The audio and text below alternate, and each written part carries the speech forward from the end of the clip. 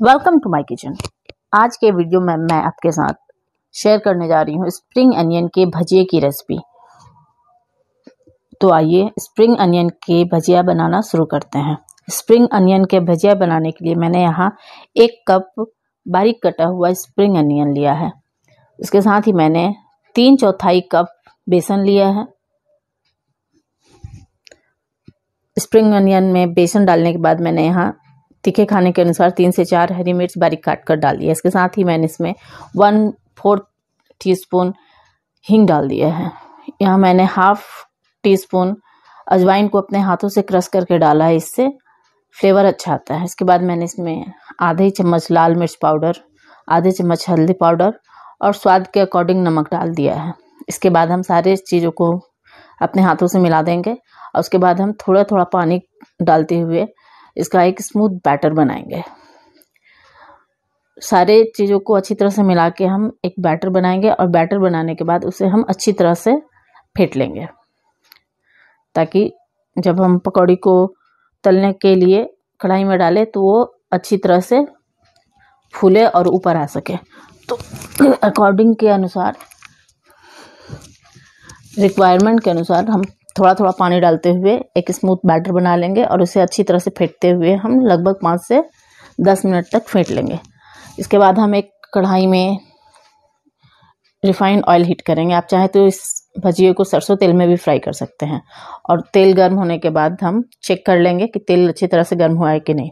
इसके बाद हम कढ़ाई में भजियों को छोटे छोटे साइज़ में डाल देंगे। कढ़ाई में भजिया डालने के बाद थोड़ी देर तक हम इसे छोड़ देंगे।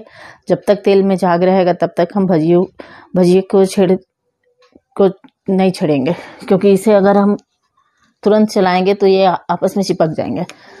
हम तेल में उठ रहे झाग को ख़त्म होने का इंतज़ार करेंगे। तेल से उठ रहे झाग जब थोड़ा सा ख़त्म होगा, तब हम इसे चम्मच से उलट पलट लेंगे। थोड़ी देर चम्मच से उलट पलट करने के बाद, आप चाहें तो इसे झारे या स्पैचुला से चला सकते हैं। इसके बाद हम इसे चलाते हुए क्रिस्प होने तक मीडियम टू लो ऑयल में फ्राई करेंगे। भजिया तलते समय फ्लेम को हमेशा मीडियम टू लो ही रखना है। मीडियम अगर फ्लेम को आप हाई कीजिएगा तो भजिया बाहर से क्रिस्प क्रिस्प हो जाएँगे, लेकिन अंदर से कच्चा रह जाएगा।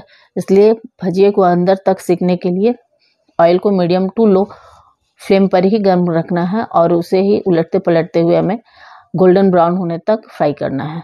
जब भजिया गोल्डन ब्राउन हो जाए, तब हम भजिए का बैच निकाल लेंगे। इसके बाद हम दूसरे बैच को कढ़ाई में डालकर फ्राई करेंगे। देखिए, भजिया लगभग अच्छी तरह से फ्राई हो गया है। अब इसे हम झारे से या स्पैचुला से तेल को कढ़ाई में ही निकालते हुए निकाल लेंगे, जिससे कि तेल ज़्यादा बर्बाद ना हो। और उसके बाद हम सेकेंड बैच को कढ़ाई में तलने के लिए डाल देंगे। इस तरह से हम सारे भजिए को तल के निकाल लेंगे। जब हम इसे सर्व करेंगे तो भजिए को एक साथ कढ़ाई में डालकर हल्का क्रिस्प कर लेंगे, जिससे कि सारे भजिए गर्म हो जाए। सारे भजिए तलने के बाद हम भजिए के ऊपर चाट पाउडर, काला नमक स्प्रिंकल कर देंगे, जिससे कि भजिया और ज़्यादा टेस्टी हो जाए। इस तरह से तले हुए भजिए को आप धनिया की चटनी, टमाटर की chutney, tomato ketchup Schezwan sauce या रेड चिली सॉस के साथ सर्व कर सकते हैं। आप चाहे तो इसे प्लेन भी खा सकते हैं। ये खाने में काफ़ी टेस्टी होते हैं। सर्दियों में स्प्रिंग अनियन आता है तो सर्दियों में एक बार तो ज़रूर बना के इसे खाना चाहिए।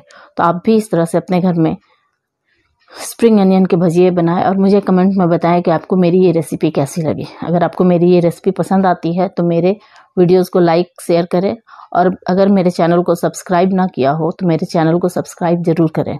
और मुझे कमेंट में बताएँ कि आप आगे के वीडियोज़ में कौन सी रेसिपी देखना चाहते हैं? धन्यवाद।